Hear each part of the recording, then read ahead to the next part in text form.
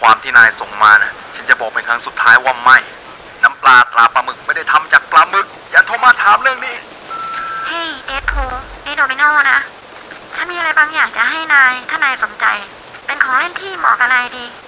โอ้ส่วนข้อความที่นายส่งมาน่ะ เกี่ยวกับเรื่องเออคือว่า มันไม่ได้หรอกนะไงก็เออคือ ฉันไม่รู้ละไงก็โทรมาแล้วกันนะ เฮ้ย Dead Pool ผมปีเตอร์จาก High Moon Studio เองครับ คุณที่คุณชอบเรียกว่าหัวหำไงจำได้หรือเปล่าไงก็ตามเรามาดูคอนเทนต์ในการทำเกมของคุณแล้วนั้น มันไม่ปะติดปะต่อกันเลย เพราะฉะนั้นเราจะตัดไอเดียของคุณไปแล้วก็จะสร้างใหม่ขึ้นมาเองนะครับ อะไรนะเขาปฏิเสธบทของเราอย่างนั้นเหรอนี่มันเกมของเรานะเว้ยบางทีเขาอาจจะอ่านข้อตกลงไม่ออกเพราะแกดันเขียนกับสีเทียนนะสิ ไม่ต้องห่วงนะเพื่อน ฉันรับประกันเลยเดี๋ยวเขาจะโทรกลับมาแน่นอน เฮ้ยนี่มันเฮ้ยเดดพู ผมเองครับปีเตอร์ไง